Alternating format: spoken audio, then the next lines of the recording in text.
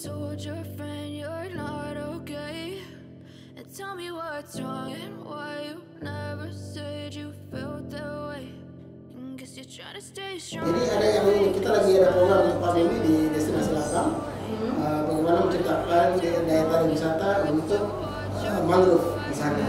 Terus kemudian sampingnya baru keluar ada makam dentata dan lain sebagainya. Terus kita nggak tahu ya dentata kita cuma tahu nama jalan, Iya. sehingga banyak menciptakan lapangan pekerjaan buat industri pariwisata dan begitu pun juga di industri kreatif bisa menciptakan lapangan pekerjaan bagi orang-orang yang ada di kota Makassar. Assalamualaikum warahmatullahi wabarakatuh. Halo sahabat podcast. Senang sekali kita kembali berjumpa dalam acara podcast Buka Tutup Sulsel 1 Dan hari ini di studio Buka Tutup sudah hadir narasumber. Beliau merupakan Kepala Dinas Pariwisata Kota Makassar Bapak Muhammad Assalamualaikum warahmatullahi wabarakatuh Waalaikumsalam warahmatullahi wabarakatuh. Bagaimana kabar Pak? Alhamdulillah baik-baik. Alhamdulillah, akhirnya kita berjumpa dengan Kepala Dinas Pariwisata bisa ngobrol bersama sahabat-sahabat podcast yang ada di rumah. nah, Pak, ini kan sektor pariwisata di Kota Makassar sudah mulai bangkit kembali, Pak. Setelah dua tahun pandemi, pariwisata menjadi salah satu sektor yang terdampak saat Hmm. pandemi. Mm-mm. Namun kondisi saat ini dikatakan lebih baik. Pak, yang mau diketahui sama teman-teman podcast, Pak, seperti apa sektor pariwisata di Kota Makassar saat ini? Iya, eh, seperti disampaikan tadi sama teman-teman bahwa Hmm. pariwisata itu paling terdampak. Kenapa? Karena pembatasan orang. Tidak boleh orang berpindah satu tempat ke tempat yang lain. Sehingga sektor pariwisata dan industri kreatif itu seluruh dunia, bahkan di Indonesia dan Makassar, itu mengalami kemunduran menurut saya. Nggak maju-maju karena kita stuck selama dua tahun. Di tahun ini, buktinya untuk di sektor pariwisata sendiri, akupansi kamar hotel itu sudah mulai membaik. Nah, report kami di beberapa hotel dalam uh, periodikal bulan Juni ini saja di dan akhir Mei kemarin itu sudah beberapa yang sudah 80 sampai 90 persen akupansi kamarnya. Arti tingkat keterisian kamar ya ini luar biasa gitu kan. Ya, Terus kemudian di industri kreatif sendiri kegiatan-kegiatan seni pertunjukan itu sudah mulai aktif kembali. Terakhir kita konser dengan beberapa artis nasional, terus kemudian agenda-agenda artis nasional akan datang di Makassar beberapa minggu ke depan ini ini membuktikan bahwa uh, sektor pariwisata dan ekonomi kreatif bangkit kembali di Kota Makassar. di Kota Makassar Nah, dengan adanya beberapa kelonggaran yang diberikan baik itu secara nasional Mhm. dan uh, pemerintah daerah seperti itu seperti kalau di nasional kan ada Inmendagri Mhm. Terus kemudian di tingkat uh, pemerintah daerah khususnya di Kota Makassar ada surat edaran wali kota terkait Mhm. beberapa poin-poin pelaksanaan kegiatan kepariwisataan dan Mhm. ekonomi kreatif di Kota Makassar. Jadi memang bisa dikatakan sudah lebih baik, jauh lebih baik, jauh lebih ya. baik. Dibanding Memang belum menghampiri tahun. seperti 2019, Mhm. tapi setidaknya jauh lebih baik daripada 2020 dan 2021. Baik. Nah, Pak, pasca pandemi ini sendiri bagaimana strategi dan kebijakan pemerintah Kota Makassar dalam mendorong peningkatan sektor pariwisata di Kota Makassar? Ya, eh, jadi eh, kami punya strategi namanya fasilitasi pemasaran bagi industri pariwisata. Ini kita eh, bersama-sama dengan industri pariwisata di Kota Makassar itu melakukan intervensi pemasaran di kota-kota tujuan yang disepakati oleh industri, bukan oleh pemerintah, tetapi disepakati oleh industri bahwa ini adalah target kita. Nah, makanya kita sudah memulai kemarin di bulan. April bersama dengan Astindo, Asosiasi Travel Agent juga itu membawa kurang lebih 15 travel agent Hmm. untuk melakukan penjualan langsung di Surabaya. Di Surabaya. Nah, data yang terakhir kami diberikan nah, dari kegiatan tersebut tadi proyeksi omset kurang lebih 3 miliar. Hmm. Eh sorry sorry, 1,3 miliar. Hmm. Kemudian kami baru kembali kemarin dari Bali Hmm. bersama-sama dengan Asita dan PRI Sulawesi Selatan Hmm. melakukan juga penjualan langsung di Bali di dua kegiatan. Pertama di kegiatan Bali Ambient Travel Fair ini travel mart terbesar di Indonesia karena menjaring 270 buyers dari 30 negara. Hmm. Terus kemudian sellersnya 118 dan Makassar itu menjadi salah satu sellers. Hmm. Terus kemudian kegiatan di uh, Makassar Direct Selling bersama dengan beberapa hotel di, di Makassar dan Makassar. travel agent itu di Beach Walk. Hmm. Jadi uh, mempromosikan F8 dan destinasi-destinasi lainnya di Kota. Makassar. Itu strategi-strategi yang kita lakukan ini. Hmm. Nanti akan ada lagi uh, kota lanjutan yaitu di Yogyakarta dan di Jakarta Dan tetap akan dilakukan, Pak ya. Bersama industri. Industri. Ini yang paling terpenting bersama industri karena industri ini adalah yang paling terdampak. Hmm. Bagaimana kita bisa pemerintah bisa hadir membangkitkan Hmm. sektor kepariwisataan terkhusus di industri pariwisata ini. Hmm. Seperti itu. Baik, nah Pak, untuk sejauh ini apakah ada kendala Pak yang dihadapi Dinas Pariwisata dalam peningkatan atau membangkitkan kembali sektor pariwisata di Kota Makassar Pak? Ya, hambatan-hambatan paling yang paling eh, terasa saat ini adalah kenaikan harga tiket. Iya. Nah, dibandingkan dengan situasi pandemi kemarin, kalau harga tiket sekarang kan, aduh, kalau kita cek Makassar dan Pasar saja itu paling murah 1,3. Iya. Dulu dulu itu sebelum pandemi bahkan Di bawah sejuta di bawah sejuta sudah ya? ada gitu, di berbagai maskapai. Nah itu kendala kan ini secara nasional juga Pak Menteri Pariwisata Pak Sandiaga Uno sudah menyampaikan kita akan memberikan strategi bagaimana bisa memberikan harga-harga tiket murah ini. Orang sudah boleh beberapa kelonggaran sudah di, eh, diberlakukan, tetapi kendalanya di Hmm. eh, harga tiket tiket yang masih Nah, tinggi. masih tinggi seperti itu. Itu saja kendalanya sebenarnya buat kami. Selain itu nggak ada kendala lagi? Sebenarnya tidak ada kendala, support dari kepala daerah dan ibu wakil kepala daerah, Pak Wali dan ibu wakil itu luar biasa buat sektor pariwisata dan industri kreatif di Kota Makassar. Baik Pak. Nah untuk konsentrasi program pariwisata pada tahun ini Pak pada sektor apa saja? Bagaimana syaratnya dan apa targetnya Pak? Jadi eh, pertama kita membangkitkan dulu nih industri. Industri kita kan ada dua nih tugasnya di pariwisata, pariwisata dan ekonomi kreatif. Di pariwisata tadi strateginya membantu industri bangkit. Begitu juga di industri pariwisata, di industri ekonomi kreatif membantu bagaimana pelaksanaan event-event itu bisa berjalan dengan lancar karena eh, para pelaku ekonomi kreatif di subsektor seni pertunjukan ini banyak eh, supaya mereka bisa berkelanjutan membuat kegiatan-kegiatan yang berskala besar. Terus kemudian eh, program selanjutnya adalah bagaimana membuat destinasi berdaya saing. Di tahun ini kita akan melakukan eh, perbaikan-perbaikan di Pantai Losari, misalnya, eh, seperti toilet, karena Hmm. toilet itu paling sering dikeluhkan oleh masyarakat. Kita akan punya toilet yang berstandar di tahun ini di Pantai Losari. Hmm. Terus kemudian ada beberapa program-program lanjutan seperti eh, pelatihan untuk kelompok sadar wisata. Hmm. Terus kemudian bagaimana eh, bersama-sama dengan seluruh SKPD lainnya eh, membangun program lorong wisata. Lorong Gitu. wisata. Kan itu adalah program bersama seluruh SKPD. Hmm. Seperti itu.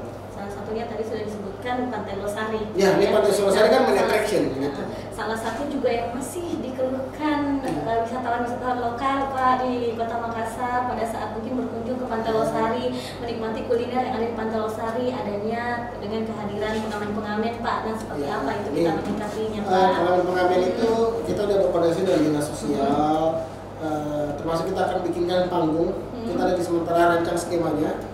Jadi panggung ekspresi, bagaimana mereka itu bisa secara legal Hmm. eh, memberikan eh, hiburan buat kita semua. Kita lagi bikinkan skemanya karena tahun ini juga kita di Losari itu ada beberapa alat yang akan digunakan seperti sound system dan Hmm. lighting yang bisa digunakan secara cuma-cuma oleh orang-orang yang punya bakat di Kota Makassar. Jadi disediakan wadah. Disediakan ya? wadah, Nah, gitu. Daripada ngamen langsung aja Iya, disediakan disediakan tempat wadah di wadah. Itu Pak konsepnya? Apakah ada eh, fee khusus untuk pengamen-pengamen dari Tidak. pemerintah atau seperti apa Tetap- Pak? eh, Tetap Hmm. seperti eh, Hmm. penampilan di beberapa Hmm. konsep di beberapa negara bahwa Hmm. ya mereka pertunjukan ada seadanya dari Hmm. kita yang tetapi lebih teratur Oke. gitu dan tidaknya ti- sifatnya tidak memaksa Hmm. seperti itu kan yang dikeluhkan sebenarnya pemaksaan ini Iya. kalau terhibur pasti terhibur Terhibur, iya. cuma proses proses pada saat meminta eh, terima kasih ini yang sedikit Iya. kurang enak seperti itu Nah, Pak, kita kembali membahas tentang bagaimana membangkitkan pariwisata di Kota Makassar. Untuk Dinas Pariwisata sendiri, Pak, bagaimana memanfaatkan media sosial, Pak? Nih, orang kan sekarang promisi apa lewat Instagram, nih, Pak. Nah, TikTok dan lain-lain mempromosikan pariwisata yang menyasar kaum milenial yang suka healing seperti apa, Pak? Kalau sobat podcast tahu Instagram kita di tourism Hmm. underscore Makassar, Hmm. ini salah satu Instagram milik pemerintah kota Makassar yang sangat aktif Hmm. memberikan uh, konten-konten yang kreatif. Karena kami didukung oleh tim kreatif yang Hmm. kami hire rekrut secara terbuka gitu, untuk membuka lapangan pekerjaan bagi anak kreatif di kota Makassar. Instagram, TikTok, YouTube itu salah satu kanal-kanal promosi kita yang kami gunakan di pemerintah kota Makassar di dinas pariwisata, di TikTok, uh, terus kemudian di YouTube itu akan banyak uh, teman-teman lihat promosi-promosi kota Makassar dengan cara-cara yang unik, Hmm. cara-cara yang kreatif. Nah, bisa jadi tempat healing Hmm. gitu. Misalnya ini ada kita pulau bagaimana sih di pulau apa aja, ngapain aja apa nama pulaunya itu ada di situ. Bahkan tempat-tempat makan yang paling keren kekinian sekarang bisa tahu di situ. Dari daripada jauh-jauh Pak ya mau healing ke mana di Makassar Ya, ada. Kok. Tinggal kalau misalnya mau butuh infonya di mana tempat-tempat healing yang oke di Makassar, Iya. silahkan kunjungi ke Instagramnya eh, pariwisata Kota Makassar. Ya, tourism Nah, underscore Makassar. Nah, itu TikTok juga gitu, tourism underscore Makassar. Oke Pak, kita membahas kembali tentang pariwisata di Kota Makassar. Secara umum ini Pak Kadis, bagaimana potensi pariwisata di Kota Makassar? Apa kelebihannya sih Pak dibanding eh, pariwisata di kota lain? Jadi eh, ya pariwisata di Kota Makassar itu. Paling unggulan adalah MICE, Hmm. Meeting Incentive Convention and Exhibition. Kemudian wisata eh, kuliner, sejarah dan budaya dan bahari itu utama. MICE ini adalah penopang 60% ketersediaan kamar di Kota Makassar. Hmm. Itu yang paling banyak mengisi. Jadi kegiatan-kegiatan meeting, misalnya nih ada kementerian dari pusat mau bikin pertemuan untuk kepala dinas eh, pariwisata lah atau PU se Indonesia Timur, milihnya pasti Makassar, gitu. Dan itu full day, Hmm. Full day sorry, full board, gitu. Udah sama kamar, Hmm. yang rata-rata tiga hari dua malam. Hmm. Itu yang mengisi ketersediaan kamar 60%. Kemudian wisata kuliner. Hmm. Nah, wisata kuliner ini kalau kita bicara kuliner orang Makassar pasti tidak ada kalah Ki. Iya. kalau terutama seafoodnya. Nah, itu selalu disampaikan sama orang-orang kita Pak Wali Kota juga waktu dia menyampaikan bahwa ikan bakar kita tuh berbeda dari ikan bakar di tempat lain. Gitu. Kita makan ikan beneran gitu. Hmm. Kulit boleh gosong, Hmm. Tapi dalamnya putih. Itu ya. Dari pagi buka mata sampai mau menutup mata mau tidur pun semua kuliner. Bahkan setiap satu menu kuliner itu berbagai macam chef. Hmm. ya kan? Eh, mie kering. Mie kering ada banyak chef kan? Ada banyak merek. Itu perdebatan buat kita gitu. Yang mana enak dan sebagainya. Kemudian sejarah wisata sejarah dan budaya. Ini kan banyak nih story storytelling di Makassar. Tentang Ade Mangale terus kemudian tentang sifatnya eh, sejarah terus kemudian wisata bahari kita banyak pantai kita dari pantai kita panjang. Terus kita ada ta- ta- ta- pantai eh, pantai biru Tanjung Merdeka Karena Bayan dan sebagainya. Terus pulau. Ada Sanalona Kodongaren Keke Pulau Lakang? Lakang itu delta. Hmm. Lakang itu unik. Gitu. Kenapa saya dikatakan unik Pak? karena dia berada di tengah kota tapi dia kampung. Dia tengah kota loh. Hmm. itu di tengah kota loh kampung gitu terus masuknya lewat sungai Tanjung gitu jadi ada yang ini kita lagi ada program untuk kami ini di destinasi Lakang Hmm. Uh, bagaimana menciptakan daya, tarik wisata untuk uh, mangrove di sana. Orang bisa lihat mangrove dan padi-padi di sana dengan santai, bisa lihat uh, bisa bisa healing lah di Hmm. belakang gitu. Jadi nggak usah jauh-jauh healingnya ya? Jauh-jauh. Dan nanti saya lagi ada Hmm. program Hmm. mau buka akses uh, dermaga Hmm. Dengan salah satu pihak swasta di Makassar uh, untuk akses Lakang menyeberang ke Lakang dengan yang dermaga yang representatif. Mudah-mudahan bisa terrealisasi tahun ini. luar biasa. Jadi memang kota Makassar ini kaya sekali destinasi wisatanya pak ya. Nah, Cuma kita kadang-kadang- juga apa lagi? Cuma kadang-kadang kita tidak menyadari. Iya. Karena sesuatu yang dalam diri kita itu tidak menyadari Iya. kan? Ya seorang lain yang menyadari. Hmm. gitu Orang dari luar saja kalau dengar kata Makassar, ih ke Makassar kulinernya enak, ke Makassar pantainya bagus, Iya, sunsetnya bagus. Nah, sunsetnya bagus. merah kalau kita Nah, sore jam hmm. setengah enam itu merah Hmm. Nah, kadang-kadang juga ini Pak, kalau misalnya ada kerabat yang berkunjung ke Kota Makassar menceritakan bahwa Makassar itu bagus, pantainya bersih dan segala macam eh, tempat-tempat wisatanya terawat dengan baik. Nah, kalau kita berkunjung langsung, yang terjadi di lapangan tidak seperti itu Pak. Nah, Oke. seperti apa itu Pak pemeliharaan tempat-tempat destinasi wisata yang ada di Kota Makassar? Iya, eh, seperti Nanti Losari. Kalau teman-teman lihat sekarang sudah kurang lebih satu bulan, Hmm. itu teman-teman dari dinas kelautan dan Hmm. eh, dan teman-teman perikanan dan pertanian Hmm. itu setiap pagi dan sore membersihkan Hmm. uh, sampah-sampah yang ada di Anjungan dengan perahu Patasaki bersama dengan Pak Camat Udin Pantang. Itu boleh dilihat setiap hari, boleh dicek sekarang. Itu uh, supaya karena sebenarnya kewenangan laut itu sudah tidak berada di pemerintah kota berdasarkan undang-undang gitu. Uh, Undang-undang pemerintah daerah itu tidak berada lagi di kita. Tetapi uh, atas arahan Pak Wali Kota tetap harus kita bersihkan pantai itu karena orang tidak mau tahu itu punya siapa kewenangannya. Karena yang di sana kan pasti pemerintah kota. Nah, gitu. Terus kemudian bagaimana kita mengedukasi orang karena sekali lagi urusan kebersihan itu bukan cuma urusan pemerintah, urusan kita semua. Begitu masyarakat, wisatawan, maupun pemerintah itu sendiri. Pemerintah harus menyediakan sarana prasarananya, Hmm. masyarakat harus teredukasi dengan baik maupun wisatawan karena bagaimana kita menciptakan lingkungan yang bersih untuk bisa menciptakan destinasi yang berkelanjutan supaya anak cucu kita ini bisa lihat lagi karang, koral dan sebagainya seperti itu. Jadi memang kadang-kadang kesadaran dari kita sendiri Ya, dibutuhkan harus Pak ya. dibutuhkan semuanya dong. Untuk merawat, seperti itu. Bersama-sama merawat Pak ya, biar Iya. bisa dinikmati bersama-sama kembali Betul. nantinya. Oke Pak, nah lanjut nih kita membahas Pak di tahun ini seperti apa Pak kalender pariwisata di Kota Makassar. Mungkin bisa jelaskan Pak dalam waktu dekat ini event-event apa saja yang akan diadakan Iya. pariwisata Kota Makassar Pak. Tahun ini kita cetak rekor. Kalender of Event City of Makassar itu ada totalnya 50.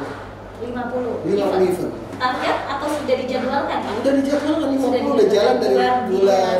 Februari. Februari. Udah jalan. Jadi Betul-betul sudah menandakan bahwa pariwisata di Kota Makassar sudah bangkit kita udah optimis kan, kita udah optimis. Bulan Februari kita udah launching. Eh, 50 kalender of event itu kita sudah launching gitu. Jadi kita beranggapan bahwa eh, kita optimis bahwa tahun ini adalah tahun endemi.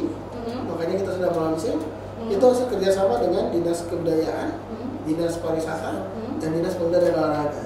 Jadi tiga dinas berkolaborasi menyatukan eventnya dalam satu coy namanya. Menghasilkanlah 50 50 ini. event. Kalau kita kerja parsial-parsial, Hmm. pasti kecil-kecil. Tapi kalau digabungkan dalam satu rumah namanya kalender of event City of Makassar itu jadi 50. 50. Gitu.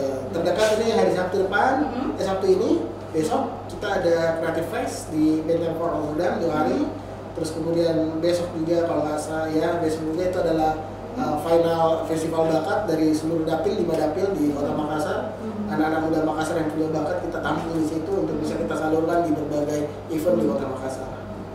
Luar biasa. Kalau untuk target event sendiri Pak yang akan diadakan di Kota Makassar tahun ini ada berapa banyak Pak? Targetnya saya kan 50. 50. Sesuai target berarti Pak ya? Udah, karena udah dibikin, udah ditetapkan 50. Udah pasti sudah harus jalan. Berarti udah pasti Pak ya? Udah, udah pasti tanggalnya udah pasti, Bu. Hmm. Tanggalnya udah jalan. Gitu. Karena banyak kalender pasti sudah ada tanggal. Tinggal penyelenggaraannya aja Pak Penyelenggaranya ya? dikontrol sama uh, setiap SKPD. Baik. Nah, salah satu event ini Pak yang dinantikan di Kota Makassar, Ya.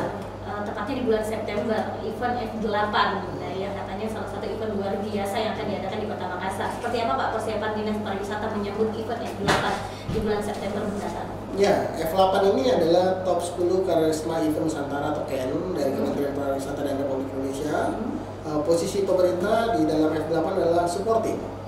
Karena F8 itu sudah dilaksanakan oleh pihak swasta, itu PT Festival 8. Jadi seperti posisi uh, kementerian, uh, yaitu uh, pusat, mensupport F8, kami pun di kementerian mensupport F8. Nah, terakhir, tadi malam kami mempromosikan bersama PT Festival 8 dan Pak Wali Kota mempromosikan F8 itu di, di hadapan Pak Duta Besar Prancis.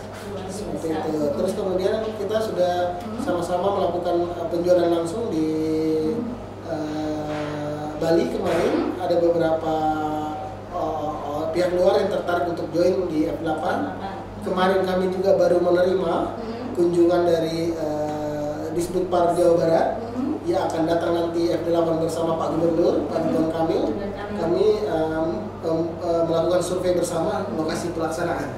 Jadi ini betapa dahsyatnya F8 karena ada orang datang Hmm. dari Jawa Barat peserta melakukan survei dulu. Karena nanti Pak Ridwan Kamil sebagai Gubernur Jawa Barat akan hadir di F8 akan melakukan beberapa aktivasi-aktivasi yang saya nggak boleh bocorin di sini.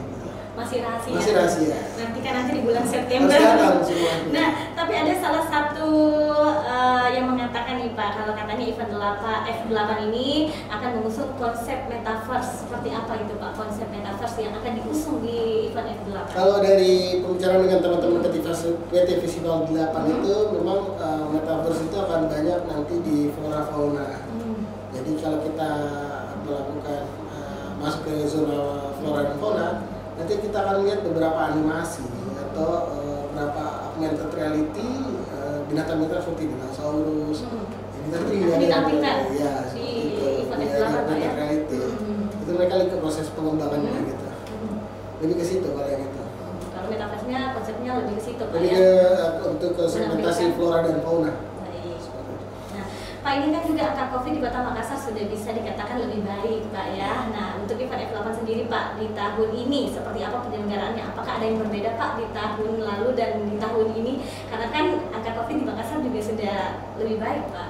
Ya, uh, pertama uh, jelas pasti berbeda karena udah dua tahun off secara nasional kan Hmm. pelaksanaan. pasti eh, banyak ide-ide baru yang lahir selama masa pandemi ini karena kita beradaptasi dengan beberapa teknologi digital untuk bisa tahan secara bisnis dan industri. Hmm. itu memberikan eh, energi baru buat panitia penyelenggara. Hmm. yang pasti akan ada yang baru karena temanya sendiri adalah rise up. Rise up for the future gitu. Nah, temanya yang saya dapat bocoran dari PT 98 jadi adalah rise up seperti itu. Jadi ya banyak hal yang baru pasti yang ditawarkan Dan kita nantikan hal baru itu di bulan Iya, September. betul. Karena belum bisa dibocorkan ya, Pak Iya, Adis. ini masih baru rahasia. baru bulan Juni Oh, bulan. Juni masih dua bulan lagi. Sabar-sabar Ki untuk menantikan apa yang baru di festival supaya ini. kita bisa datang lagi di sini kalau masih ada apa-apa Oke baik. Oke Pak Kadis dengan bangkitnya kembali sektor pariwisata pasca pandemi pastinya membawa perubahan juga untuk pemasukan kota Makassar Pak Kadis. Nah kalau boleh tahu ini Pak berapa pemasukan kas dari pendapatan wisata dalam setiap tahunnya? Setiap tahun itu kalau kita eh, rata-ratakan ya dari tahun 2016 16 dulu 19 19 ya eh, sampai tahun 2020 ya, itu rata-rata menyumbangkan 22 persen 20 sampai 22 persen ke pajak daerah. Melalui pajak hotel, resto dan hiburan. Hiburan. gitu. Paling besar adalah pajak resto dan eh, pajak resto eh, terus kemudian pajak hotel kemudian pajak hiburan. Itu grade-nya gitu. Kurang lebih 22% dari 20 sampai 22% dari PAD Kota Makassar. Adakah peningkatan dari tahun-tahun kemarin Pak ke tahun ini? kita kan belum menghitung. Nanti kan teman-teman itu kan eh, kewenangan Bapenda merilis nanti Hmm. berapa eh, realisasi dari target yang eh, mereka canangkan di tahun ini. Seperti itu. Nah Pak, seperti apa sih Pak prioritas pemerintah ke depannya untuk sektor pariwisata yang ada di Kota Makassar? Sektor pertama adalah membantu membangkitkan dulu ini industri pariwisata secara eh, industri ya Industri. Uh, kalau industrinya sudah ini lapangan pekerjaan juga sudah normal, Hmm. tidak ada yang dirumahkan. Hmm. Terus kemudian kita uh, apa uh, menyiapkan daya tarik wisata yang bisa yang mempunyai daya saing yang tinggi. Terus kemudian uh, konsep atau masyarakat di pariwisata berbasis luar wisata Hmm. Itu menjadi salah satu target kita juga selama lima tahun di RPJMD Pak Wali Kota dan di Kementerian Kota. Hmm. Uh, terus kemudian uh, beberapa program pemberdayaan masyarakat lainnya lah berbasis kelompok sadar wisata. Jadi itu yang menjadi prioritas ke depannya Pak ya pemerintah untuk eh, sektor pariwisata yang ada di Kota Makassar. Nah Pak, ini yang salah satu yang sering terdengar juga akhir ini lorong wisata Pak. Oh, iya. Lorong wisata. Bagaimana itu konsepnya Pak? Jadi lorong Apakah cuma sekedar tembok aja atau Enggak. seperti apa Pak? Mungkin bisa dijelaskan untuk sahabat-sahabat podcast di rumah yang belum eh, begitu mengetahui konsep dari lorong wisata itu seperti apa? Ya, jadi lorong wisata ini bagaimana orang bisa datang ke lorong itu dulu, Hmm. itu kunci dulunya. Wisata kan begitu, Hmm. melakukan perpindahan dari satu tempat ke tempat lainnya karena ada perbedaan. Hmm. Di lorong wisata kita udah coba di lorong wisata Bakso Ian Bapak Puang. Hmm. Di situ ada lorong wisata kuliner, ada Ian Bapak Puang yang menjadi main attraction atau atraksi utama. Sisanya ada kegiatan seperti mural dan sebagainya itu kegiatan pendukung. Nah, nanti saya kasih contoh lagi satu nanti di lorong uh, di jalan uh, Dentata 3 lorong 2. Di situ namanya ada lorong kebudayaan. Di dalam ada dua destinasi utama. Pertama ada Baruga Kaliwaran, punyanya Bu Umu. Bu Umu itu salah satu maestro sampah Basri Sila. Terus kemudian sampingnya Baruga Kaliwaran ada makam Dentata dan Haji Bau. Mas kita nggak tahu ya, Dentata kita cuma tahu nama jalan. Iya. Di dalam ada juga baru tahu Baru. Ada makamnya kan? Saya pun juga baru tahu. Saya Ternyata- pikirnya sama ini cuma jalan doang. Ada, ada makamnya di situ ada story cerita, ada cerita yang bisa ditampilkan. Hmm. Itu dua. Sisanya pendukung lagi. Nanti ada orang bisa datang di sana, ada aktivitas di sana yang bisa dilakukan. Jadi konsepnya seperti itu. Bagaimana perputaran ekonomi di masyarakat orang itu bisa terjadi.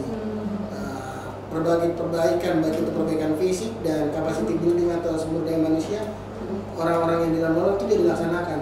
Makanya menjadi tugas seluruh setiap SKPD. Bukan cuma ketahanan pangan dan dinas pariwisata, karena di program di lorong wisata itu men- menjadi kewenangan dinas ketahanan pangan, tapi dibantu oleh dinas pariwisata. Nah, nanti setiap lorong itu punya karakteristik berbeda-beda. Gitu. Ada namanya lorong santri, lorong santri itu digeringkan aja. Terus kemudian lorong kuliner di jalan Sungai Pareman, Sungai Walanai, itu ada gitu. Ada potensinya. Sekali lagi karena kita tidak tidak menyadari itu potensi. Hmm. Gitu. Tidak mungkin pemerintah membuat kesadaran Pak bukan kurang kesadaran. Memang tidak menyadari. Tidak menyadari bahwa itu adalah potensi. Hmm. Bahwa itu adalah potensi yang bisa mendatangkan orang luar datang ke sini. Gitu, Contoh tadi Haji Bau, eh, eh, Dentata, terus kita eh, rapikan makamnya dan berikan cerita siapa itu mereka. Ya kan kita cuma tahu Haji Bau, rumah eh, rumah-rumah yang bagus di sana, jalan besar, Dentata dekat Parantambung. Hmm. Ya kan begitu sih. Ya kan ternyata dari segi kepariwisatan itu bisa menjadi salah satu nilai jual yang dan itu berada di lorong. Dentata tiga, lorong dua.